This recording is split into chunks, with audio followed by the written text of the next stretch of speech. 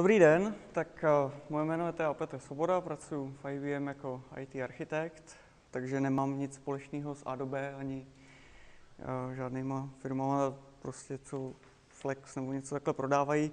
Rád bych vám tady prostě popovídal o něčem, co by vám mohlo přijít užitečný, jestli se budete chystat někdy integrovat uh, Javový backend na Flexový frontend. Tak já bych se na začátek zeptal, uh, kdo z vás má nějak tak představu o Flashi, Flexu, ActionScriptu, ví zhruba, jaký jsou mezi tím rozdíly? Tak tro, trochu jo, super. Protože ono toho je hodně, času je málo a já jsem pořádně, to já se přiznám, nevěděl, jak tu prezentaci uchopit, protože jít rovnou do těch konceptů integračních bez znalosti toho jazyka těch fundamentals je docela tvrdý, ale zkusíme to. Uh, omlouvám se za prezentaci a za demo, ale zaměstnavatel mě hrozně vytěžuje, takže jsem to nestihl udělat v plánovaném rozsahu, ale něco mám, tak se podívám. Tak, co bych tady dneska vám chtěl říct zhruba, no tak nějaký overview o tom Flexu si uděláme, co to je ActionScript, eh, virtuální mašina, framework, nějaký state management, potom to se koukneme později základní integrační metody, když budete prostě někam volat a, a budete očekávat nějaké výsledky, pak něco, co já jsem napsal teda Comfortable Integration Methods, oni to jsou spíš jakoby Enterprise Integration Methods, ale prostě něco, co je praktičtější pro reálné nasazení. Uh, a pak bychom se koukli trošku na to, nevím, jestli víte, Spring, ActionScript, či existuje, takže uh, nějaký dependency injection na straně klienta, Dobře, pojďme do toho. Takže v rychlosti overview té Adobe platformy. Já jsem tady někde skopíroval takovýhle obrázek. Uh, Flex je, Flex je framework, který je postavený nebo napsaný v ActionScriptu a běží na uvnitř toho Flash playeru, ale je to de facto jenom knihovna uh, ekvivalentní SVT nebo, nebo já nevím, Swingu třeba. Takže co je důležité, je vědět, jak funguje Flash Player.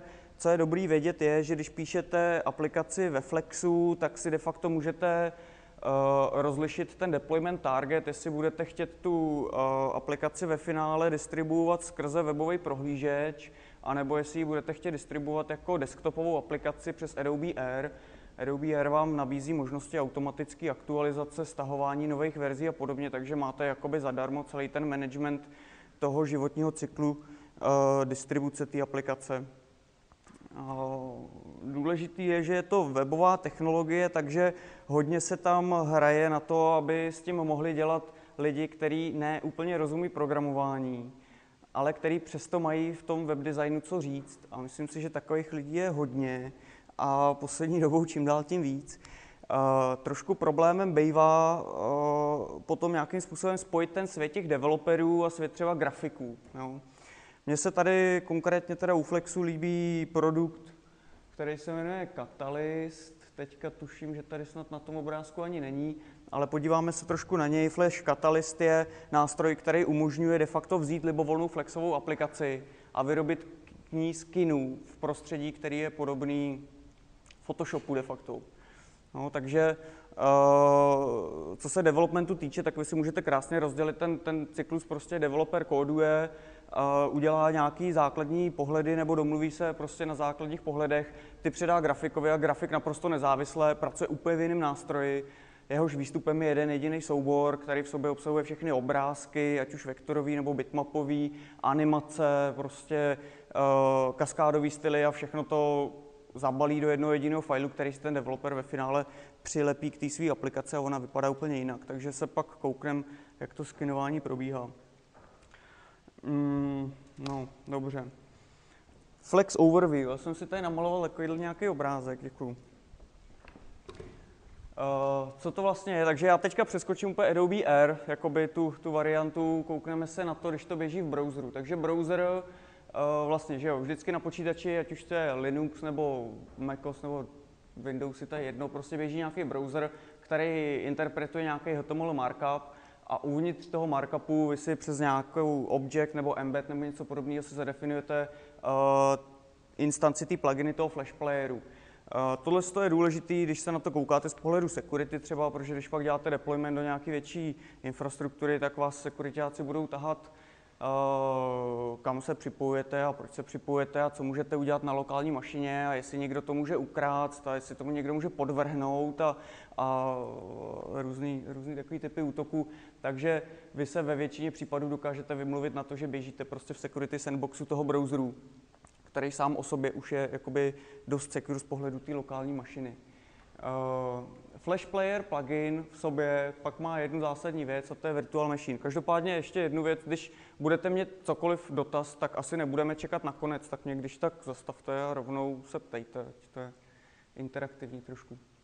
Tak, uh, virtuální mašina. Uh, Existují dvě virtuální mašiny a jedna je na ActionScript 1 a druhá je na ActionScript 2 a 3 tak jaký je mezi tím rozdíl?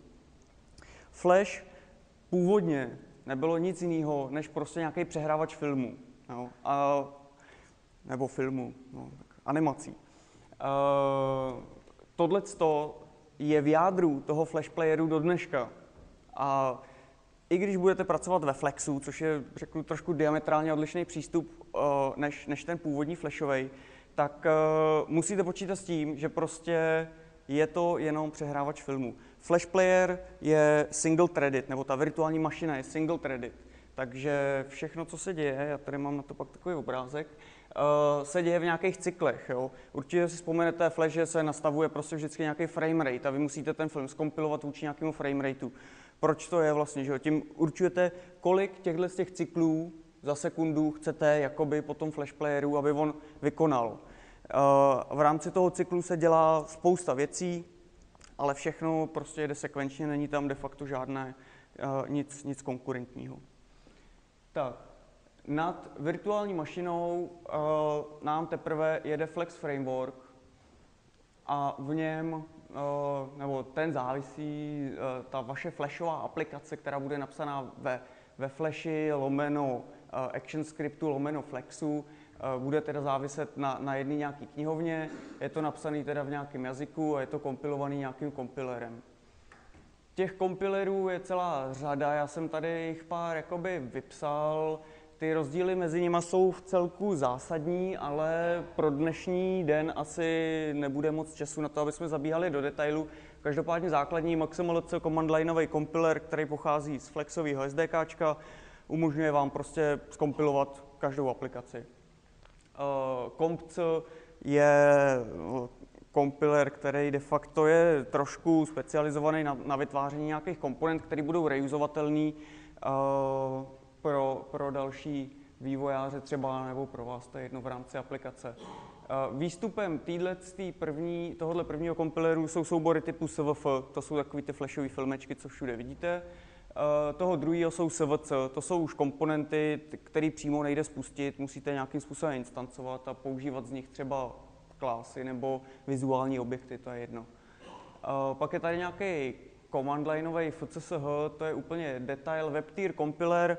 Eh, WebTier compiler je pěkná věc, vlastně vy si můžete na libovolným nebo téměř libovolným serveru aplikačním udělat ESP stránku, která bude kombinovat v sobě markup jednak třeba ESP eh, nebo JSF, bude kombinovat markup XML, ke kterému se dostaneme, to je ten, to je ten flexový, a ve finále se to prožene WebTier compilerem eh, v průběhu toho requestu a vypadne jako výsledek toho requestu skompilovaný SVF, který se prostě pošle do toho prohlížeče a tam to ten flash přehrává. tenhle ten koncept je zajímavý ve chvíli, kdy máte třeba modulární aplikace, tak vy si můžete udělat request a on demand vlastně to kompiluje, kompiluje jednotlivé moduly, vkládá to do nich určitý funkcionality, nebo je to omezuje podle oprávnění, podle rolí, to už je, to už je jedno.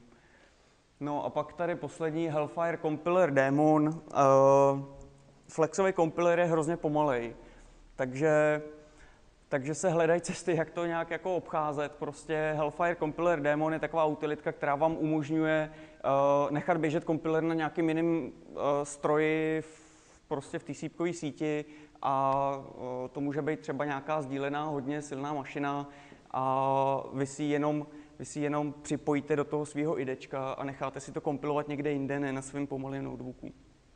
Tak. Když budete komunikovat s Flexu, s vnějším světem, tak ty konexe, které otvíráte efektivně na ten server, nikdy neotvírá Flash Player. Vždycky otvírá ten browser. To znamená, jestliže je něco špatně prostě s těma konexema, tak za to může ve většině případů ten prohlížeč. Málo kdy za to může Flash Player. Uh, tohle je případ uh, třeba pipeliningu, jo? nebo uh, já nevím, můžete si v prohlížeči omezit počet konkurentních spojení na jeden, na jeden server. Vy si ho omezíte prostě, nebo by default je to omezený většinou třeba na 4 až 8 konexí per server. A, pokud vaše aplikace je napsaná tak, že jakoby hodně bombarduje tu druhou stranu, tak můžete narazit na problémy. E, nicméně důležitý je teda, že e, otvírání spojení není v gesci toho Flash playeru vůbec.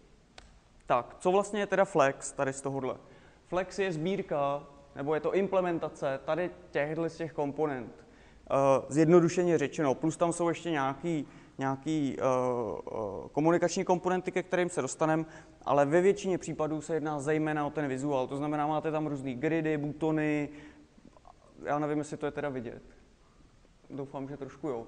Ale jsou to, jsou to komponenty, které vám umožňují stavět rychle, docela zajímavě vizuálně vypadající, stoprocentně skinovatelný, uh, internacionalizaci podporující user interfacey. Uh, výhoda je, že do takovýchhle interfejsů můžete strkat prostě všelijaký interaktivní vylomeniny, které jsou graficky docela zajímavé. Je to většinou velmi jednoduchý na implementaci a kolikrát uh, to právě třeba z pohledu kódu ani žádnou implementaci mít nemusí. Jo, to pak je o tom, že ten grafik je schopný na té timeline toho flashe si namalovat prostě filmeček, udělat si tam nějaký loopy a kolikrát dokáže udělat docela zajímavé věci. Tyhle ty pak vy si jako jednotlivý komponenty můžete prostě inkludovat do různých částí té obrazovky a, a ten finální efekt je de facto kombinace teda kódů a nějakých přehrávaných filmů. Ne všechno je efektivní kódovat. Prostě některé věci jsou opravdu jednodušší udělat udělat v klasickém, v klasickém Flash Professional produktu. Tak. Já bych trošku ještě tady udělal reklamu. Tom Krcha psal na zdrojáku nějaký tutoriál o Flexu 4. Já jsem se na to v rychlosti koukal, přišlo mě to docela dobrý, tak jsem tady vám dal odkaz prostě na, na nějaký začátek, jak s tím Flexem začít. Mně to přišlo docela, docela zajímavý. Tak. Teďka jenom v rychlosti bych prošel tohle, ať víme, ať si dokážeme uvědomit, jak eh, vlastně eh, ta virtuální mašina pracuje při zpracování každého toho snímku. Takže na začátku vždycky přijde tyk, já teďka nevím, jak bych to tady možná namaloval.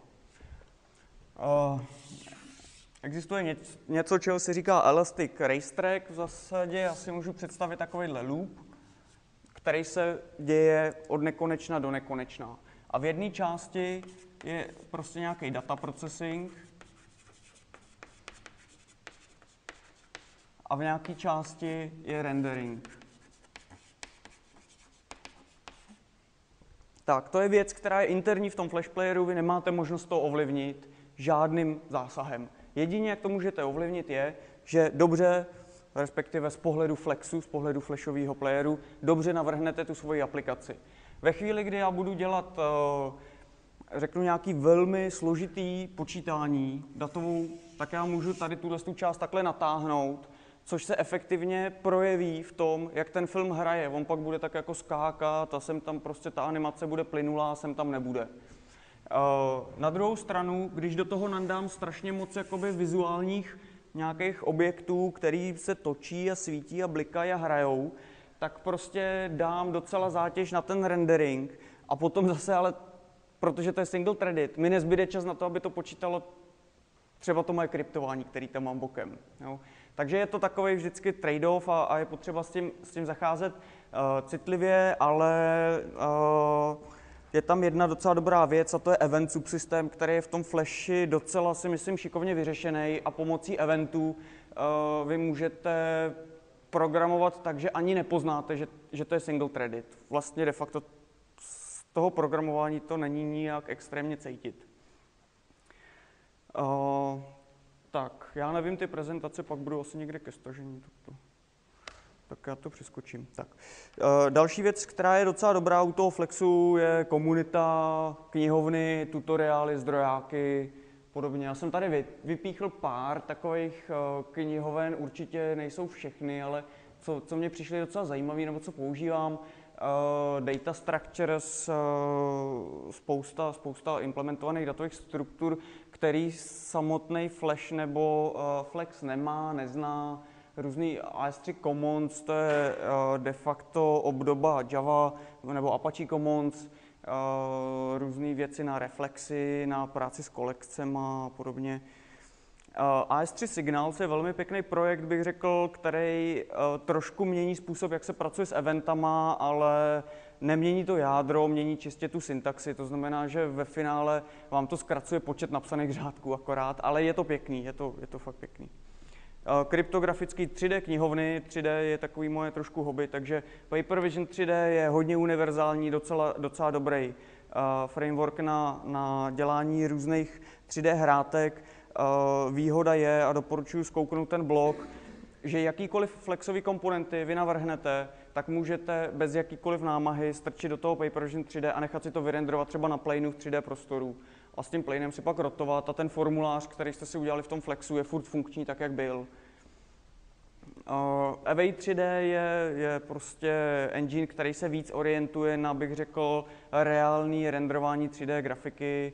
Uh, hodně se používá do her. 5 3D je takový velmi, velmi jednoduchý, to je 3D engine, který má asi 5 KB suma sumárum, jestli se nepletu.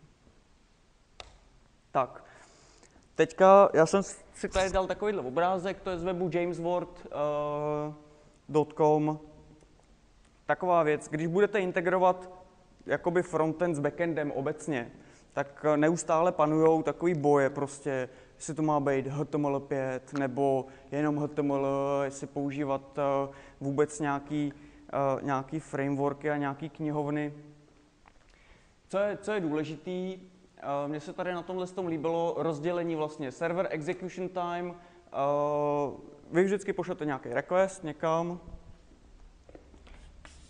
já mám klienta, on posílá request. Ten server ten request vezme, v první čase si najde nějakou implementační třídu a ta běží nějaký čas prostě, že jo. Celou tu dobu, co to běží, tak já mám tady zaholdovaný thread na tom servletovém kontejneru. Těch threadů tam není nekonečně mnoho, takže čím díl tady ta exekuce bude trvat, tak samozřejmě tím já snižuju celkovou propustnost té aplikace. Druhá věc je transfer time. Ve chvíli, kdy se to dokončí, tak se ty data ještě musí poslat zpátky tomu klientovi, ale po celou tu dobu, co se mu odesílají ty data, tak ten thread je furt busy na tom serveru. To znamená, furt nemůže přijmout žádný další spojení. Eh, ve chvíli, kdy ten klient jakoby to zavře, že jo, přijme to, tak pak teprve eh, se mi uvolňuje, se mi uvolňuje tady thread na tom kontejneru a začíná další část zpracování těch dat a to je parsing ať chceme nebo nechceme, ať tomu budeme říkat parsing, eh, nebo unmarshalling, nebo deserializace, to je jedno prostě. Ty data je potřeba z toho formátu, jak cestují ke mně, rozbalit do nějakého formátu, který jsem schopný zobrazit tomu uživateli.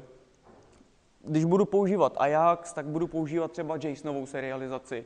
Když budu používat, eh, já nevím, uh, Javu, že jo, tak uh, můžu používat Java serializaci. Když budu používat ActionScript, tak můžu použít protokol, který se jmenuje AMOF3. Je to ActionScript Message Format a je to binární protokol, který funguje velmi podobně jako SOAP, akorát na rozdíl od SOAPů vy o něm nevíte, protože vás nepronásleduje, protože funguje. No, ve chvíli, kdy já teda ty data sparzuju nějakým způsobem, což třeba jako sparzovat pár tisíc řádků nějakých záznamů může chvilku trvat a berte to, že to běží na klientském počítači, takže on tady může jet klidně prostě nějakou starou P2, 450 MHz a přesto chce ty data vidět. Uh, tak pak teprve po tom sparzování na, na, nastává vlastně nějaký to vykreslení těch dat v gridu nebo v nějakém formuláři, to je jedno. A tady na této obrazovce teda je porovnání, uh, co vlastně, jak funguje, který, který ty protokoly mají jakou výkonnost, nebo který ty řešení celkově mají jakou výkonnost. Takže když se koukneme, třeba kdybych měl Ajaxovou stránku a chtěl do ní stáhnout 20 000 řádků do nějakého gridu a na klientovi to pak jako stránkovat, tak tady vidím, že na straně serveru se to nějakou dobu ty data se vysáhly z databáze a teď se museli zase realizovat do toho JSONu. Ta samotná serializace do toho JSONu trvala nějaký čas. Pak se to nějakou dobu přinášelo, ty zaserializované data teda očividně nebyly moc velký. No, pak na straně klienta zase to někdo z toho JSONu musel deserializovat a, vy, a vyrendrovat. No, tak tady jsou různý porovnání, prostě je vidět, že ten AMF protokol z toho vychází docela dobře. Uh, je to, tohle je od člověka, který původně byl nezávislý, dneska už je placený Adobe, ale ale, ale v, době, v době, kdy to dělal, tohle to tak teda ještě, co já vím, tak s nima neměl moc společného.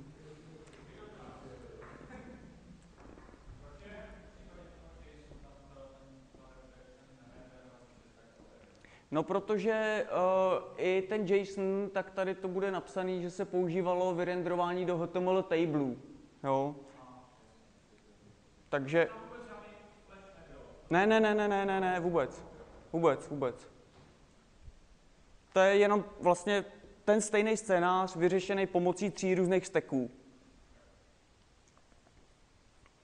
No, uh, dobrý, dobrý docela, no dobře, nebudem zabíhat do detailů, dobrý docela je, nedávno jsme narazili uh, na diskuzi o, o identitě objektů, tak teď jsem si na to vzpomněl, tak zrovna to je docela dobrá věc, že ten AMOF protokol tu identitu těch objektů podporuje. To znamená, vy když máte uh, jeden objekt, stokrát referencovaný a budete ho chtít poslat pomocí soupů, tak vám to vygeneruje prostě obludně velký XML, že jo? Kde bude ten objekt stokrát zapsaný prostě a ty data to sežere prostě stokrát velikost jednoho toho objektu. AMF použije jednou zapsání a 99krát referenci. Takže, takže o to je ten vlastní objem těch dat jakoby menší, který se pak downloaduje. No, tak, na to demo dnešní, zamýšlený design, co já jsem chtěl udělat. Já jsem se chtěl podívat na, na, uh, na nějakou zajímavou aplikaci, tak jsem si říkal, že bych mohl udělat nějaký JMX reader, prostě uh, uh, když, když vyvíjíte nějakou aplikaci, tak vy ji vyvinete, pak ji máte deploynutou někde na serveru a pak chcete třeba v runtimeu vidět, co ona dělá, nějaký trošku tweakovat to, to chování v runtimeu. No, k tomu slouží uh, teda Java Management Extensions a teď je otázka, jak se koukat a jaký, jaký rozhraní k tomu EMXu použít. No, uh, standardní J-konzole není úplně fancy, já jsem teda nevyrobil nic luxusního, ale minimálně se podíváme na to, jak se to dá udělat. Takže já jsem chtěl udělat nějaký, nějaký polling, bohužel ten messaging jsem nestihl, nestihl tam udělat, ale RPCčko si ukážeme. Na čem jsem to dělal, co jsem používal jako nějaký development stack, no takže na serveru Tomcat, WebTools Project, Spring, eh, na konfiguraci toho serveru, Spring Flex, eh, se koukneme, to je nějaký, nějaká extension Spring frameworku, která umožňuje eh, anotovat si bíny a automaticky expouzovat jako frontendové frontendový služby. A Blaze the což je takový udělátko, který umožňuje de facto transparentně volat ty backendové metody na objektech přímo z Flexu. Zároveň to konvertuje veškerý, veškerý ten payload z javových datových typů do ActionScriptových datových typů a obráceně. Což z pohledu developmentu je pak docela příjemný, protože vlastně furt píšete objektově a, a, a chodí vám jako naplněné struktury hodnotama už akorát to, to docela zajímavé. No, na straně klienta Flash Builder 4, plugina do Eclipse, SDK, Flash Player 10 je docela starý, ActionScript eh, na konfiguraci toho klienta a Flex Modules na buildování jsem nakonec nepoužil, ale uh, můžeme se na to ještě podívat. Takže buildovat projekty pomocí Mavenu není problém, mm, manažovat je pomocí Springu taky není problém, to si myslím, že jsou, to je ten nejzákladnější message tady z toho. Teďka, co vlastně, jak to funguje. Koukneme se v první řadě na nějaké jednodušší integrační metody, HTTP service a web service a později se koukneme na remote object. jakým způsobem vlastně ta invokace vypadá, jak ty komponenty vypadají. Nebo možná, dobře, já to chvilku, děláme to zajímavější. No. Kdo z vás neviděl ještě nikdy XML markup? Akorát se zeptám. Tak hodně. Dobře. Tohle je, uh, já to napřed pustím takhle nějak třeba. Tak, tohle je nějaká prostě mini aplikace, kterou jsem si teda vpíchnul. Je tady jeden nějaký data grid, uh, nástrojová lišta s nějakýma tlačítkama na stažení. Mi to tady vyhodí exception, tak se na to podíváme, co to je. A tady nějaký detaily. Takže tohle je zhruba aplikace, na kterou se, na kterou se budeme budem koukat. Jo. Internet nemáme, nevadí.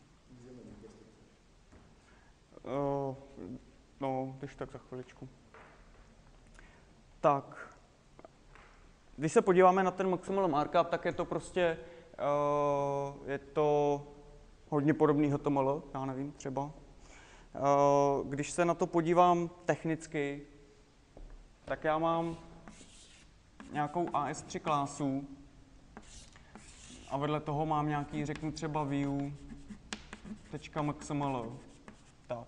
To XML je určený zejména pro lidi, kteří moc nekódují, takže píšou deklarativně. Nicméně mezi tohle to já udělám takhle, že to je zhruba totožný. Prostě to, co je XML stránka, je ve finále de facto ActionScriptová klása. Uh, jediný co, tak prostě tady to je deklarativní a tady, tady to je imperativ. Tak, uh, když se koukneme na to, jak to celé vypadá, tak na začátku mám nějaký namespace definovaný, to si myslím, že je standardní. Je tam základní teda aplikace, eh, kde ji můžu nějak pojmenovat a hnedka na začátku té aplikace já tady mám teda event handler na application complete, že chci zavolat metodu init. To znamená, jakmile se ta aplikace nahraje a na tom klientu se spustí, tak ať mi zavolá nějakou inicializační metodu, ve které teda momentálně tady nedělám nic moc. Uh, udělám si, načtu si embedovaný uh, embedovaný config, který tady mám někde takhle zadrátovaný pěkně. Tady je vidět, že já můžu do proměný typu class si embedovat nějaký data. Tohle se velmi často používá a embedovat můžete úplně cokoliv. Binární data, textový data, co chcete. Běžně se používá, že si tam takhle zaembedujete třeba PNG, obrázky na různé stavové ikonky a podobně který se pachová jako sprite. Vy si jenom uděláte novou instanci v runtimeu, prasknete to na stage a, a uh, máte tam obrázek. Tak, po, po načtení teda springového konfiguráku se už tady nic jiného neděje. Když bych se koukl do toho springového konfiguráku, jak vypadá, tak není nějak extrémně složitý. Tady mám nějaký autowiring, event handler, to se podíváme. Mám tady dva objekty udělaný, greeting service, to je spíš nesmysl, a tady je jeden, je mix reader. No, ten je snad jediný zajímavý. Uh, já tady říkám, že to je objekt, teda bína, která se jmenuje EMX Reader, je nějakýho typu remote object, chci, aby byla autovajrovaná a dává mi tady jedno property destination, že se jmenuje EMX Reader. Tak, co to vlastně znamená? Já si to takhle tady trošku smažu. Na straně toho serveru já chci takhle vystrkovat nějaké interfejsy a na straně toho klienta je chci konzumovat, zjednodušeně řečeno. Tak, teďka je otázka, kde je implementace tady tohohle toho. Uh, koukneme se,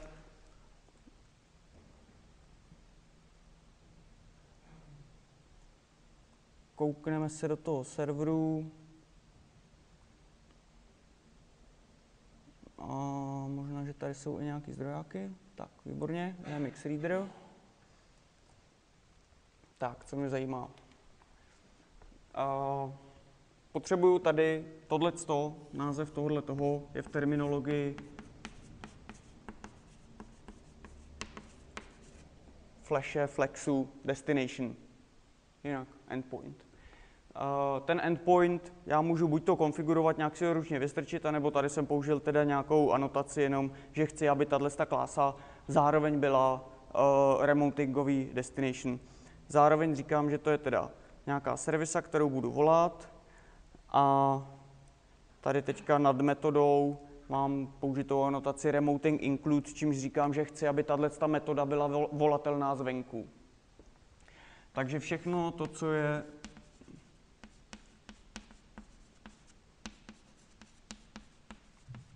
remoting include, tak, tak jsou ty operace, které já na tom interfejsu můžu volat. To znamená, ve chvíli, kdy já si konfiguruju jakoby tady ten protikus, což je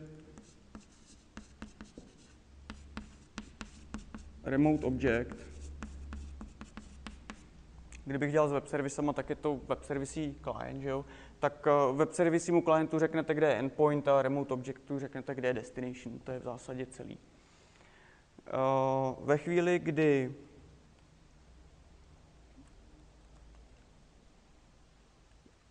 kdy mám takhle zinicializovaný ten, ten objekt, tak můžu si kdekoliv v tom kódu začít volat na tom readeru metody. To znamená, tady vidím, že volám nějakou metodu getAvailableMbeans. Když se kouknu do implementace té javový, tak tady mám klásu getAvailableMbeans, která mě zahazuje nějaký exceptiony a vrací mi nějakou kolekci JMX objektů. To je synchronní volání uh, Tohle je synchronní volání. No. Koukneme se za chvíli, jaký jsou jakoby, metody toho volání. Uh, je jich, je jich víc než dost. Tak. Takže takhle já to zavolám, tu operaci. Problém je, kde dostanu, no i když vlastně, když už se ptáš, tak vlastně asynchronní to je do určité míry. No. Tady je vidět, že já volám na, na jednom řádku jenom get available mbeans, ale nepřebírám žádnou výstupní hodnotu, přestože teda mě to tady vrací nějaký list objektů. Tady přesně přichází ta eventová infrastruktura. Já si na tom objektu, pardon, to je nějak trošku šup, šup, je MX Reader, tak si na něj přidám event listener, a řeknu, že uh, ve chvíli, kdy tato, tenhle ten objekt vystřelí event result, event, result,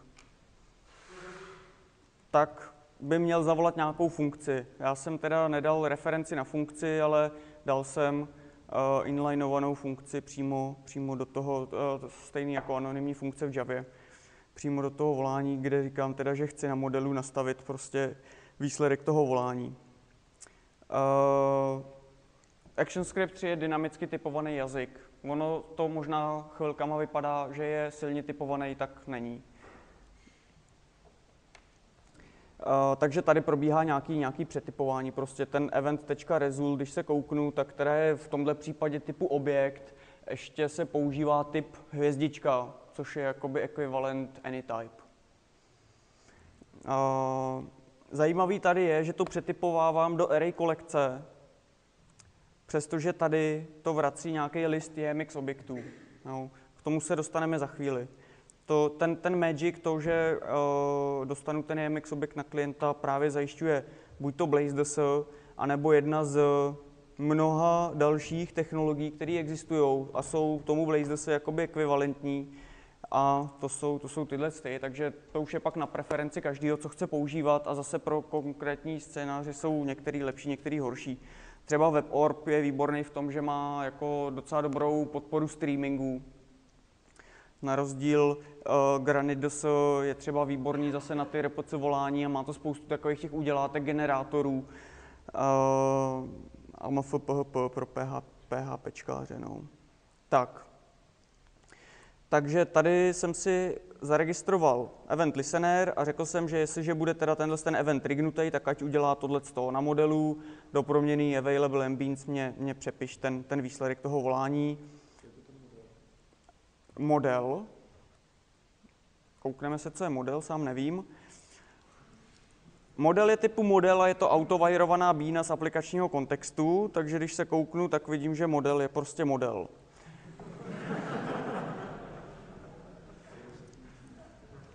Ne, model, model je, tady jsem si udělal nějakou klásu, prostě model. Eh, já to nebudu nějak rozebírat jako do detailů, ale prostě model view controller paradigma je, je eh, i ve Flexu úplně běžný a existuje spousta frameworků a spousta uh, nějakých patternů, jak to používat. Jeden z těch známějších třeba přímo od Adobe je Cairngorm, což původně byla knihovna, dneska už je to jenom sada doporučení, ale existují jiný, třeba Pure MVC nebo Robotlex, což jsou frameworky, které vám pomáhají jako uh, realizovat MVC pattern. No. Tak já jsem tady nepoužil žádnou knihovnu a prodrátoval jsem si to sám. No.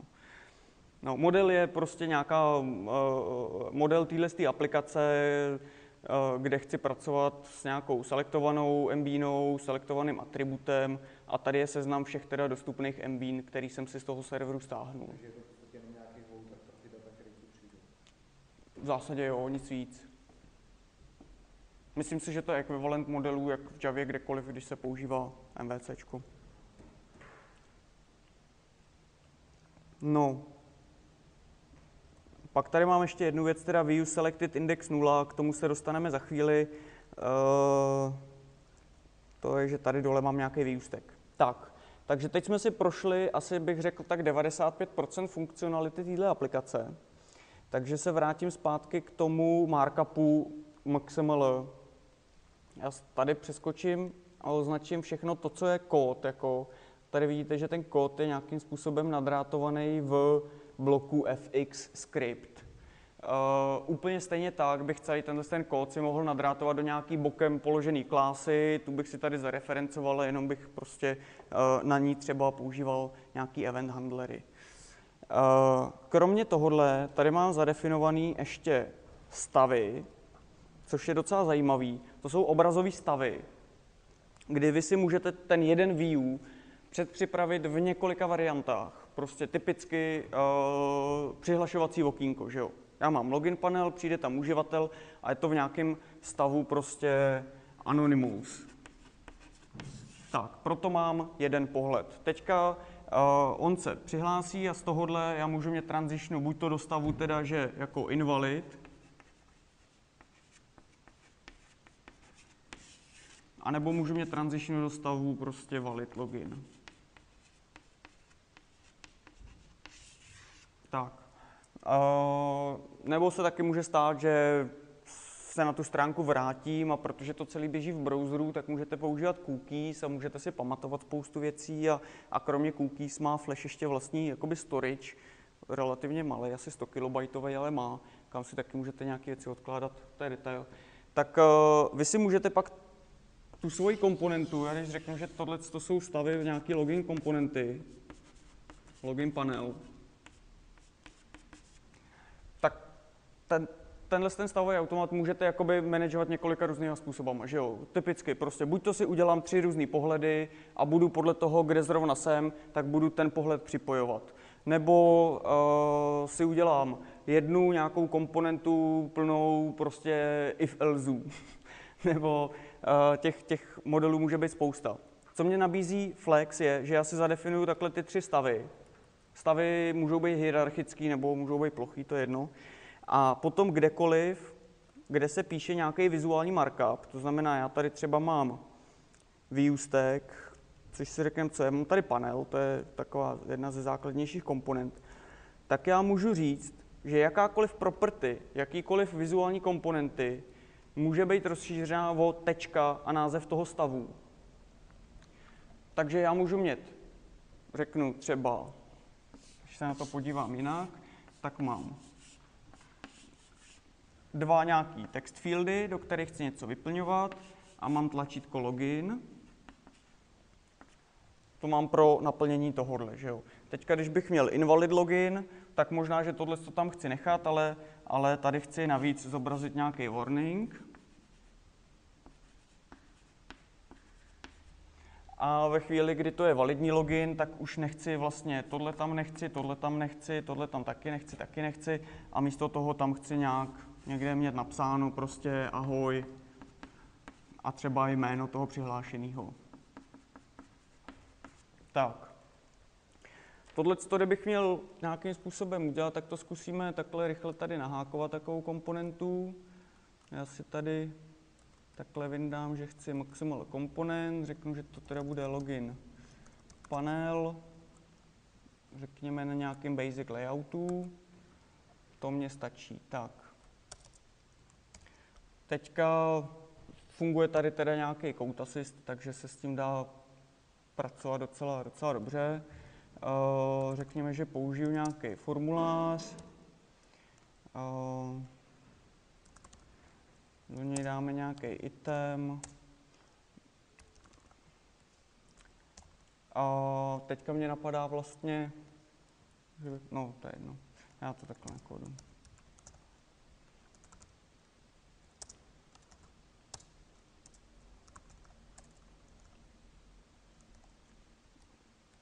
Tak a ještě si tady uděláme nějaký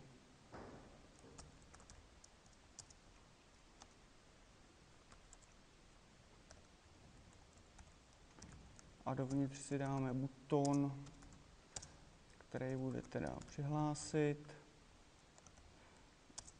Mm, a ještě si tady někde dáme na začátku, třeba řeknu takhle MX label, kde bude napsáno neplatné přihlášení. Dovnitř si dáme nějaký text fieldy teda.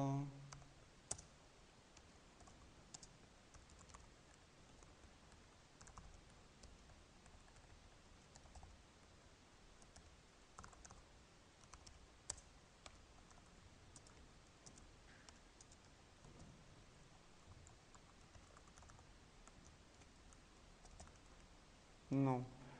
A na to stejný se můžu kouknout s trochou štěstí takhle v tom design módu. Tak.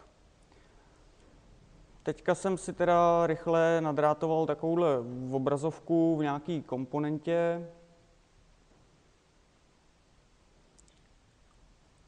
A co mě, co mě jakoby zajímá teďka, tak jsou ty stavy. To znamená, já tady vidím, že tady mám nějaký stav 1, takže si ho takhle edituju nebo edituju, přidáme si nový invalid login, můj duplikát, jedničky, tohle to je Anonymous, dám si ho jako výchozí stav a ještě si uděláme jeden a to bude loget in. Tak a teďka v anonymním rozhodně nechci, aby tady nějaké neplatné přihlášení, nejde mi to vybrat, bylo, bylo viditelný.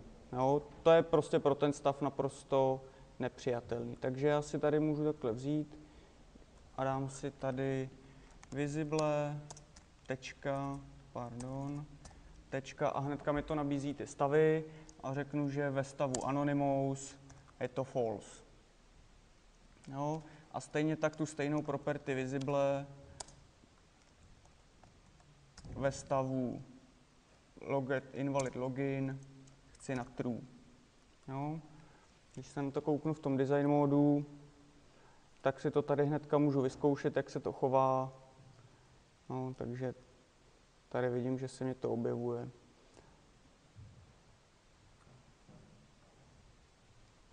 Dalo by se to samozřejmě rozšířit a já můžu třeba celý tenhle ten field ve stavu loget in říct, že je false a tak dál a tak dál. To si myslím, že už je asi každému jasně, jak to teďka funguje. Což je, je to docela praktický, si myslím, rychlej, přímočarý způsob, jak jakoby pracovat s tím, s tím view a, a, a jde, to, jde to velmi rychle nahákovat i rychle rozšiřovat. Tak. Co tady máme dál? Máme tady ViewStack. ViewStack je taková zajímavá komponenta, která se používá ve chvíli, kdy máte hodně obrazovek. Typicky model, model view controller prostě. Já mám někde nějaký kontroler, který řeknu, že zná prostě 45 různých views, který mě tady může semka poslat a zobrazit. Uh, teď je otázka, jak já je budu zobrazovat, že jo? kde je budu zobrazovat a uh, jak budu řešit přechody mezi těma obrazovkama. Právě kvůli tomu slouží ta komponenta výustek, uh, kde vy si prostě někde uděláte ten výustek a dovnitř něj pak strkáte jednotlivý celý obrazovky. Výustek má asi snad jedinou zajímavou property a to je selected index.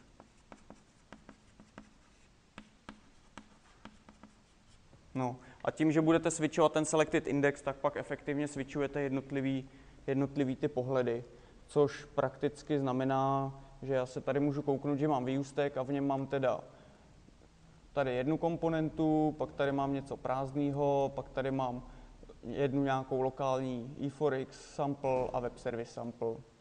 Spuštěno. Jo, a mezi těma, mezi těma views se switchuju velmi jednoduše. Jestliže kliknu na vs sample, tak řeknu, že views, což je teda ID toho výusteku jako takového, takže má selected index a, a nějakou prostě konečnou hodnotu. No, takže pak kliknu a přepíná se mě celý, celý ten pohled. No. Dobře. Tak, zkusíme otočit aplikáč tady a uvidíme, jestli se to chytí.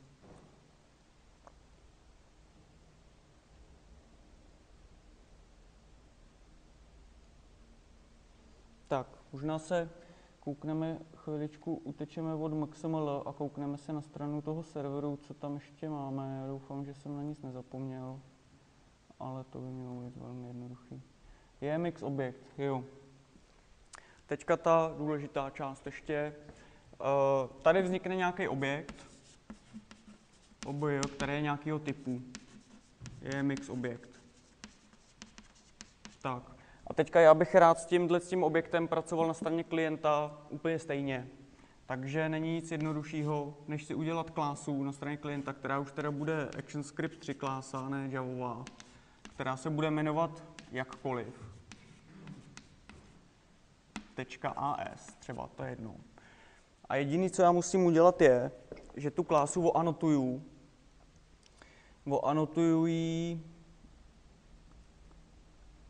remote class aliasem, čímž docílím toho, že fakticky provážu, provážu ty dva objekty. Tak, tohle je ten magic.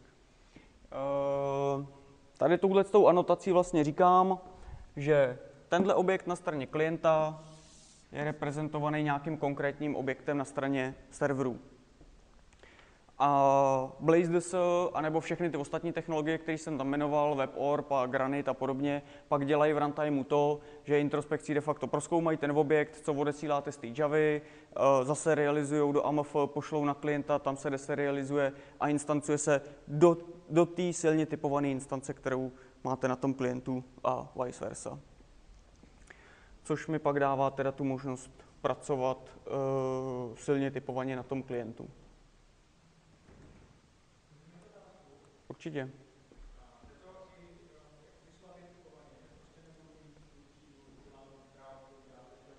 Jde, jde, rozhodně. Eh, v zásadě potom vám ten objekt může přijít eh, ve dvou možných tvarech a můžete s ním dělat spoustu věcí. Eh, ten objekt fakticky obsahuje úplně všechno to, co obsahoval na straně Javy, akorát buď to se tváří, že to je typ jako plain objekt, ale máte metody typu describe type, Eh, čímž můžete si jednoduše vysát jakoby celou tu definici toho objektu, dostat se ke všem properties, eh, nebo nedej bože, pokud dopředu víte, jak se jmenují ty proměny, ty, ty, ty fieldy na tom objektu, tak je můžete stejně úplně napřímo jakoby k ním přistupovat. Jo?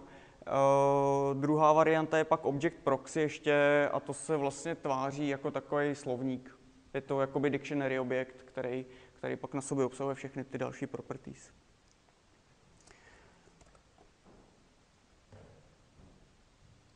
Tak, já doufám, že se teďka něco stáhne.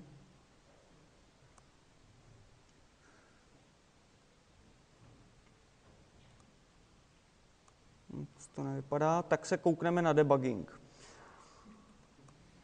Debugging je docela, docela příjemná záležitost, protože hnedka vám ukážu proč.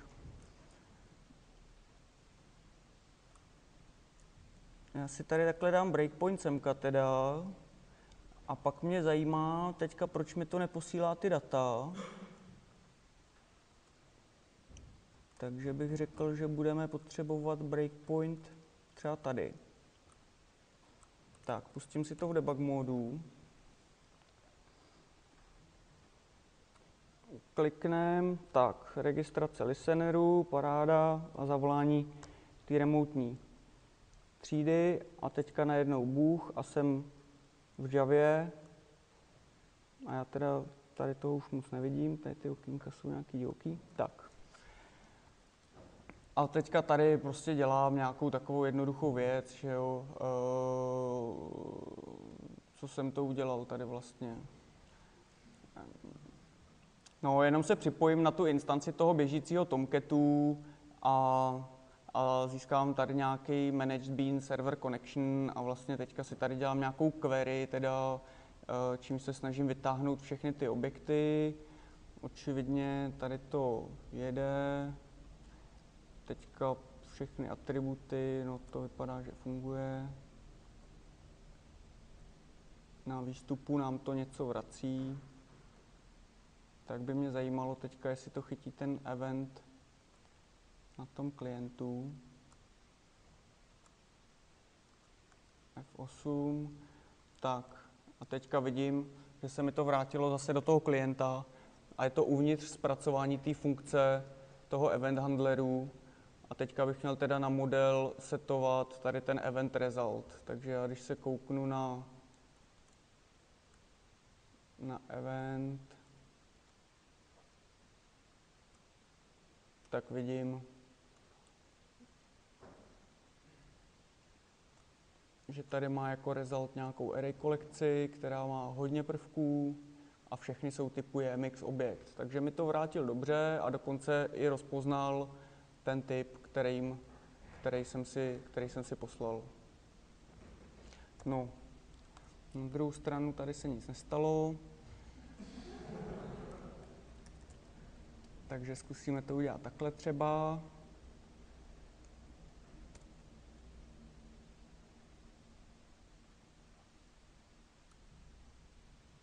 Teď už to nechci, nechci.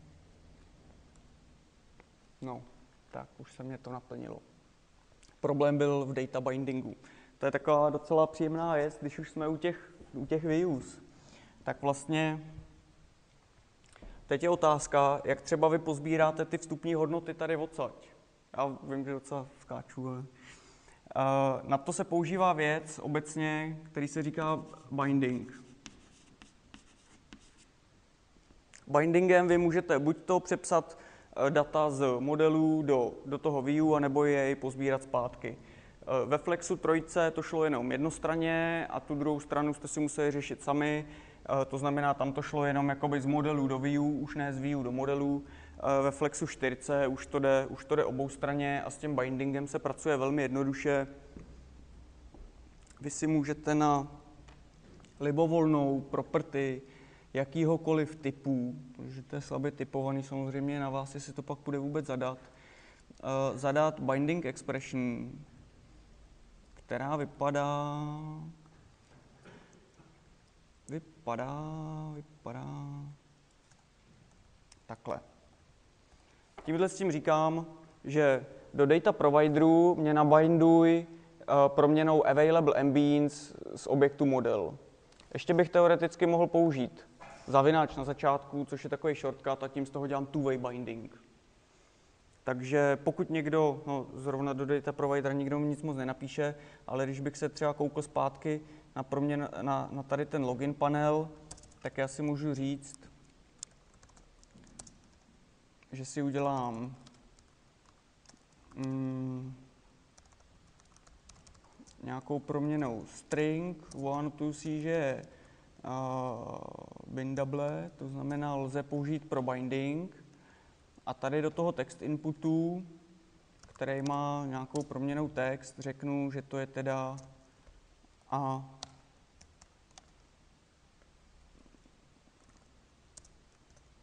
two-way binding do proměný login name.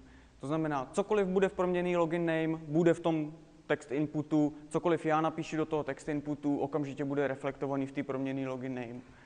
A na tlačítko prostě login, já už si ji jenom vezmu a můžu s ní pracovat, vím, že je naplněná hodnotama, nemusím nikde ty data sbírat prostě z té obrazovky nějakým šíleným způsobem. Tak. No, tady jsem si teda stáhl seznam čeho, všech MBín ze serverů a do datagridu tady vidím, že mám vždycky doménu, property a pak nějaké atributy.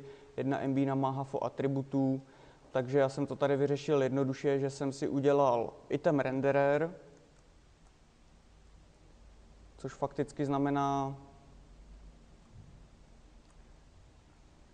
což fakticky znamená, že jsem si udělal takovouhle mini komponentů, která se ztratila.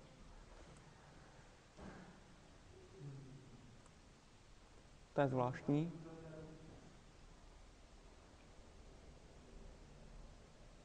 No jo, já jsem slepý už. Tak. A co dělá item renderer? Item renderer, když se na to kouknu, tak z pohledu toho vizuálního markupu tam mám pouze list, seznam, jakože tady nic víc není než list. Eh, do toho listu mám nabindovanou nějakou kolekci kol, nevím, co v ní je. Mám definovanou teda vejšku, pevnou, omezenou na 60, šířka, ať je jakákoliv. A na event on change eh, tady mám nějaký, nějaký event handler. Eh, otázka je, kde se vezme kolekce kol. Kolekce kol zase stejně tak jako v té aplikaci na začátku. Mám tady creation complete, event handler, kdykoliv je tato komponenta vyrobená, tak já říkám, že si z datagrid list data, protože už je to teda datagrid item renderer, to znamená, on už je trochu aware o tom, že bude použitý v datagridu, tak si vezmu nějaký label, eh, což jsou fakticky ty textové hodnoty, které by byly jinak tady nasypané čárkou oddělený eh, a kolekci si vyrobím tak, že si je prostě tady splitnu a mám nějakou kolekci a tu kolekci si nabinduju. Tak. Kolik máme času? Moc ne. No dobře, no. Je to špatný. No. Takže teďka vlastně tady mám takovouhle nějaký udělátko a je vidět, že ve chvíli, kdy se zeptám na nesmysl, tak dostanu null pointer exception. Message broker, řekněme, že mě zajímá na MBně message broker flex session count. Takže když se kouknu, tak na straně serveru flex session count 0. Hm, to je taky zajímavý. Tak, bohužel demo je nedodělaný, musíme letět dál. Já se zeptám, jestli zhruba aspoň máte představu teďka, co jsem tady říkal, než se pohneme dál. Moc nic. Jo? No, dobře. Uh, takže tohle to jsou nějaký, nějaký remoting. Uh, kromě remotingu já můžu použít ještě messaging. Messaging je podstatně zajímavější, protože to je nějaký publish-subscribe mechanismus. Uh, vy si můžete na straně serveru udělat, uh, a teďka ještě se ptám s JMSkem, tady dělá všichni, no výborně. Takže já si můžu udělat EMS-kovou queue. Do ní mám někde nějaký legacy systém backendový, který mě do toho sype nějaký message, anebo na tom poslouchá, to jedno. A pomocí Springu já si můžu jednoduše provázat tu core komponentu flexovou, která se jmenuje Message Broker.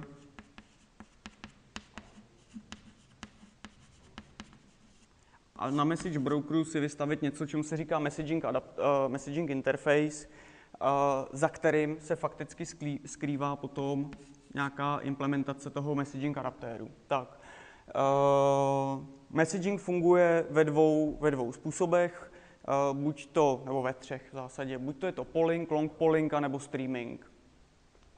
Jaký je mezi nimi rozdíl? Rozdíl je v tom, že jak jsme si tady malovali, tak zatímco polling funguje tak, že on prostě v, před, v předem určených intervalech, já nevím, řeknu třeba jednou za 4 sekundy, jednou za 5 sekund, pinkne na ten server a zeptá se, nemáš pro mě nějaký nový message? A server řekne, ne, nemám nic. A nebo řekne, jo, mám tady pro tebe 10 messageů a pošle mi je v rámci jednoho callu, v rámci jedné dávky. Uh, takže polling je prostě neustálý ťukání tam a zpátky. Když to long polling funguje tak, že on udělá request, zeptá se, nemáš pro mě nějaký message? A ten server řekne, nemám, ale ten thread tady zaholduje a nechá ho tam vyset do té doby, dokud pro něj nějaký message mít nebude. A ve chvíli, kdy ho mít bude, tak to vrátí zpátky. Eh, je to užitečný při různých scénářích. Dá se to dost dobře fejkovat i s tím pollingem, kdy vy na tom polling channelu třeba máte možnost si nastavit uh, jakoby server hold time, kde mu řeknete, že třeba 200 milisekund má tady tenhle ten, uh, tenhle ten pull request uh, podržet. Typicky se to používá tehdy, když já třeba messagingem propaguju nějaký event do nějakého distribuovaného event systému a teďka čekám, jestli se vzadu někde v legacy světě stane něco, co je pro mě zajímavý a nechci zbytečně furt ťukat, tak já si nechám 100 milisekund jakoby nějaký čekací čas na to, aby ten, nebo 200, aby ten backend zpracoval ten, ten můj požadavek, ten event vlastně, a případně odpovědně rovnou, rovnou vrátil. Tak, tohle je volání v prostředí, kdy vy ten server znáte, kdy ho máte pod kontrolou. Teďka dovolání, kdy ten server nemáte nebo ho nemáte pod kontrolou. Uh, HTTP service, web service jsou dva základní objekty, které vám umožňují na HTTP protokolu zavolat kohokoliv, kdekoliv na světě. To znamená, já si můžu přes HTTP service stáhnout, když na to přijde klidně celou HTML stránku, můžu si stáhnout uh, zavolat nějaký servlet někde nebo nějakou, nějakou dotnetovou službu, která vrací, uh, vrací obyčejný textový data. Tady je vidět, že výstupní formát může být různý. Jeden, který je zajímavý, je ten E4X, ke kterému se bohužel asi už moc nedostaneme dneska, ale to je takový, je to docela dobrý standard na, na distribuci a dotazování jakoby XML dat. Kromě HTTP service, což je komponenta, kterou typicky použijete všude tam, kde se používá REST, tak máte ještě web service, čímž můžete zavolat libovolnou webovou službu opravdu podle specifikace. Volání těch webových služeb je trošku problematický, protože k tomu potřebujete WSDL, ten WSDL se musí parzovat na straně klienta. Není to úplně jako já ty web services třeba zrovna z té flashy nemám moc rád, teda, no, ale možná to je jenom můj osobní názor. No a pak ten remote object, o kterém jsme si tady celou dobu povídali, to si myslím, že je opravdu way to go. Publish, subscribe, uh, consumer, producer. Zajímavý jsou různý scénáře. Já teďka si nedovedu představit, co bych vám uh, takhle. Mám klient 1, klient 2 a tady mám nějaký message broker v nějakém servletovém kontejneru na serveru. Uh, tady si vystavím topic, který teda topic nebude uh, JMS-kový, ale bude to normálně flexový topic a nechám všechny ty klienty, ať se mi do toho topiku konektí. Že jo? Každý z nich tam bude mít nějakého konzumera a každý z nich do toho bude mít producera. A mám vyřešenou čatovací aplikaci pro neomezený počet participantů.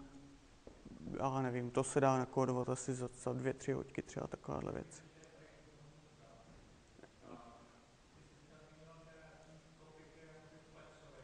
Mm-hmm. Mm-hmm.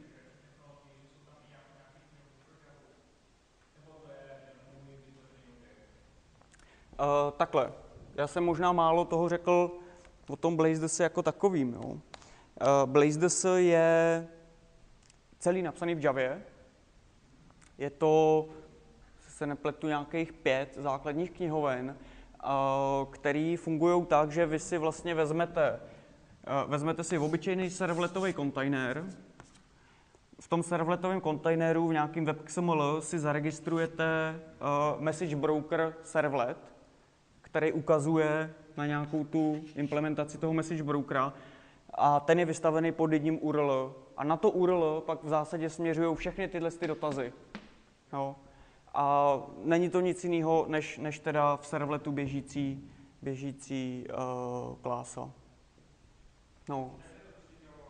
Jo, jo, jo, jo, rozhodně, rozhodně. Kolik máme času? Pět minut. Uh, dáme pět minut otázky, odpovědi, diskuzi rychle. Ještě co, jestli vám chybí teďka něco, co jsem jakoby neřekl nebo přeskočil nebo takhle, tak klidně řekněte. Jestli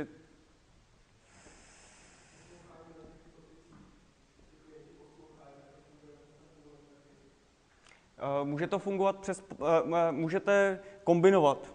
V zásadě vy máte možnost udělat něco, tady na téhle straně, když se připojujete sem, tak máte možnost udělat si něco, čemu se říká channel set. Channel set. A ten channel set obsahuje celou řadu jakoby kanálů. Jo? A ten kanál je právě, buď to mám polling kanál, nebo mám ten long polling, anebo mám ten streaming. Já si je všechny můžu zabandlovat do jednoho channel setu a v runtimeu je měnit. To znamená, já můžu v runtimeu říct, že tenhle ten klient je připojený streaming, uh, streaming channelem, kdežto tenhle ten je připojený long polling channelem. Uh, ten, kdo bude připojený streaming channelem, samozřejmě bude dostávat ty data podstatně rychleji. Uh, na druhou stranu zase na tom serveru způsobí podstatně větší zátěž.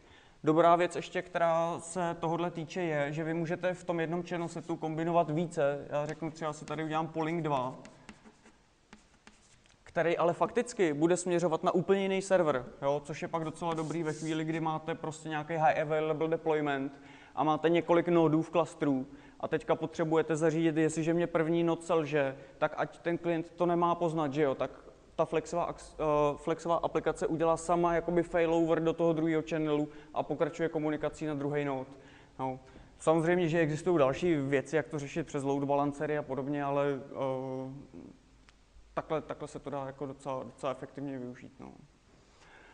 Jedna velká výhoda, ke který jsme se dneska moc nedostali, je teda ten, ten management těch stavů, protože když takhle si skonstruujete tu aplikaci, tak potom de facto na straně toho serveru eh, ta business logika, kterou píšete, tak může být úplně bezestavová. To znamená, to, co je sešna, prostě session objekt v, v servletech normálně, tak je pro vás věc, eh, by se dalo říct, téměř nepotřebná. Jediný, co vy potřebujete z té sešny, tak je vědět, že ten uživatel je nebo není autentizovaný. No, protože o toho se pak odvíjí spousta dalších věcí. Eh, na, na těch endpointech nebo na těch destinationách se dá velmi detailně konfigurovat třeba securita. To znamená, vy můžete omezit, že na tom jednom objektu mám vystrčených pět public metod, ale první smí volat jenom role A, druhou smí volat jenom role B a třetí může volat kdokoliv. Například to je, to je věc, eh, ale jakoby jinak do sešny na straně serveru je zbytečný si cokoliv vyrvat, protože vy můžete tu zátěž, místo toho, abyste ji agregovali do jednoho jediného bodu, tak vy ji můžete rozložit na všechny ty klienty, protože každý ten flexový klient má svůj vlastní runtime a v něm si může držet tu sešnu a v něm si drží všechny session data. A vlastně ten server je pak jenom takový, my tomu říkáme průtokový ohřívač vody. Skrz to jenom chodí requesty a Jaký aplikace? No, tak uh, aplikace se dají dělat různý, že jo? Tak uh, když to vezmu, uh, jsou, jsou malinký aplikačky, které pak třeba embednete fakt jenom, já nevím, co jsem dělal, byla taková úplně mini aplikace, Visivik Editor s nějakým prostě vybíráním lidí, rolí a to bylo embednutý ve web sfíře, ve web sfíře portálu prostě a handloval to nějaký management klientů ze SAPu. Jo? E, tam šlo o to napsat něco velmi rychle a, a aby to vypadalo pěkně. No, tak e, tohle to třeba je takový enterprise development. Nebo jsem dělal ve Flexu třeba kompletní e-shop celý, který byl právě pomocí toho papervisionu celý 3D, hejbací, prostě blikací, mačkací, no. A nebo mm, teďka, co děláme, že jo, no, ty se ptáš, a to já ani nevím, jestli můžu říct, no. Děláme v jedné uh, velké bance teďka prostě celou banku vlastně ve Flexu teďka, no. Jakoby ty jejich uh, frontendové aplikace. Ty aplikace, před kterými budou sedět nešťastníci na přepážkách, až si budete žádat o kreditní kartu, tak, tak budou bouchat tady do toho. Je to, je to dobrý uh, z několika důvodů, že ten, uh, no, má to docela slušný development model. Prostě můžete to hodně dobře rozbít mezi spoustu developerů a ten jejich skillset nemusí být zrovna úplně jako žádný jako skvělej. Jo. Není asi problém pro hodně chytrého člověka napsat cokoliv, je problém, když máte bandu jako středně chytrých lidí, aby dohromady vyprodukovali kvalitní enterprise aplikaci. To už není úplně tak jednoduchý a pomocí Flexu se to, toho dá docílit. Já věřím tomu, že se toho dá docílit i pomocí HTML5 kanvasu, ale zatím bych to teda ještě nedělal.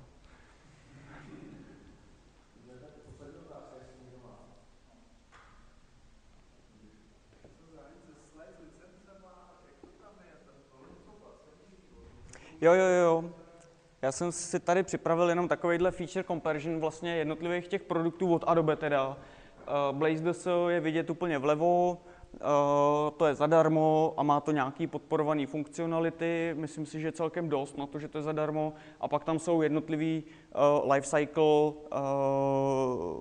enterprise verze těch produktů, které už jsou teda jakoby placený a podporují toho trochu víc. Jo. Zajímavý třeba konkrétně, když se budeme bavit o tom, o ty zátěži na tom servletovém kontejneru, protože ten message broker je přesto vystavený, tak je podpora NIO. Jo. Uh, třeba v Lifecycle Data Services máte NIO jakoby zadarmo, nebo zadarmo, eh, k dispozici v rámci ceny té licence. Uh, ta licence není levná, jsou to řádově desítky tisíc eur per server. Na druhou stranu existují rozšíření, konkrétně mám na mysli teďka extension BlazeDS od Farata Systems, který napsali vlastně NIO Eh, Eh, rozšíření do BlazeDS, takže pokud máte jako eh, servlet 3.0 container, tak, eh, tak můžete používat NIO i na tom Blazeu. No.